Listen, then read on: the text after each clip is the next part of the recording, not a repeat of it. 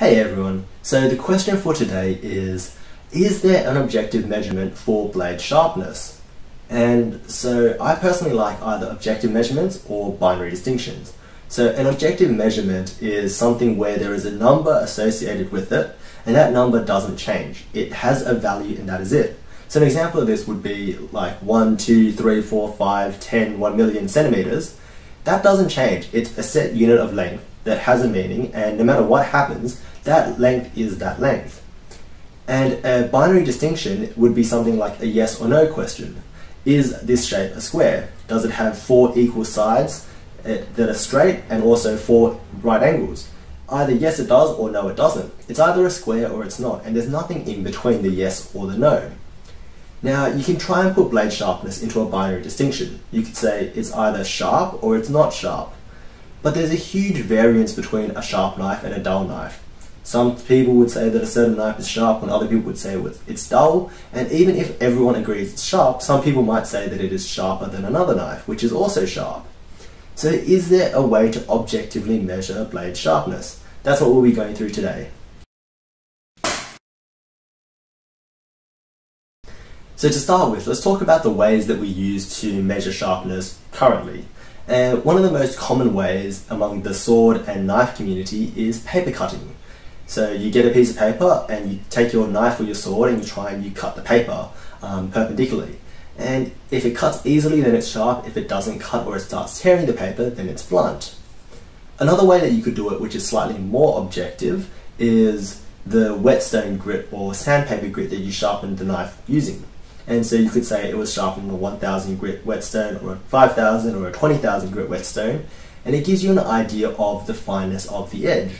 But there's a big problem with that because if even if you sharpened it on a 20,000 grit whetstone, but you had terrible sharpening technique, it would probably actually still be blunt. And finally we get to functional testing. So things like cutting soft materials like a tomato.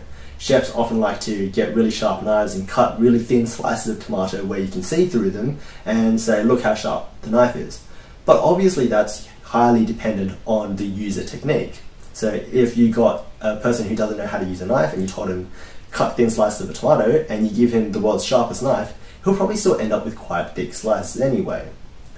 So none of these are great objective measurements and a lot of them rely on user technique in the sharpening or in the testing. So is there an actual sharpness measurement? And the answer to that is yes, it's called blade edge radius. So this is the measurement of the radius of the semicircle on the edge of the blade. Now, if we hold it for a moment there, then a lot of people are wondering, what do you mean by the semicircle on the edge of the blade? And if you take a cross section of a blade, then the edge of the blade looks like a sharp point. So to understand this, then you actually have to understand that nothing in the universe is a sharp point. Things are always round. Whether that's round at one atom diameter round, or round as in 50 kilometers radius, then everything is still round to some degree. But the smaller the radius is, the more likely that when you zoom out and you look at it from afar, the more likely it is to look like it is a sharp point. So having a small blade edge radius would be a sharp knife and having a large blade edge radius is a dull knife. And seeing that cross-sectional semicircle is a lot easier when you look at a dull wood splitting axe. You can see that there's pretty much a semicircle on the end of the blade. And that's because it's really dull. Whereas if you sharpen that, then you think that you're getting the two points to come to a sharp point. But actually at the tip of that point is still a smaller round semicircle.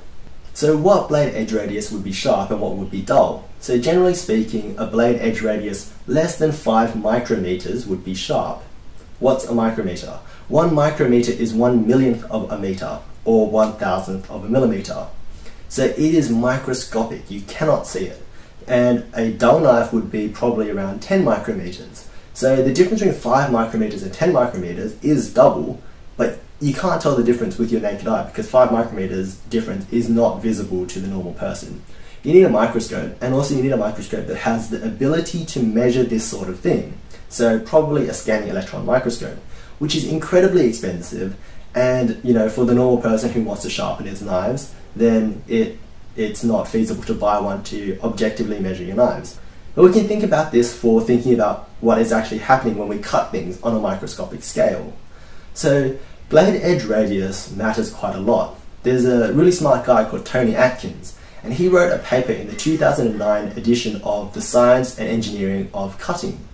And he showed that when you cut with a knife, then most people like to think that the edge splits material as it goes along. But that's not actually what happens. What actually happens is that the knife goes in like a wedge and it creates a crack ahead of the knife in the material. And with a really sharp knife with a small blade edge radius, then that crack is in the direction of the cutting. And so then the knife is moving through that crack and as you cut, then the crack helps the knife go along. So it's a smooth cut in a straight line. Now with a dull knife with a large blade edge radius, then that crack still forms, but that crack sprawls all over the place. And so then the knife isn't going in the direction of the cut, so it comes against resistance and it makes it very hard to cut. So that's the difference microscopically between a sharp knife and a dull knife.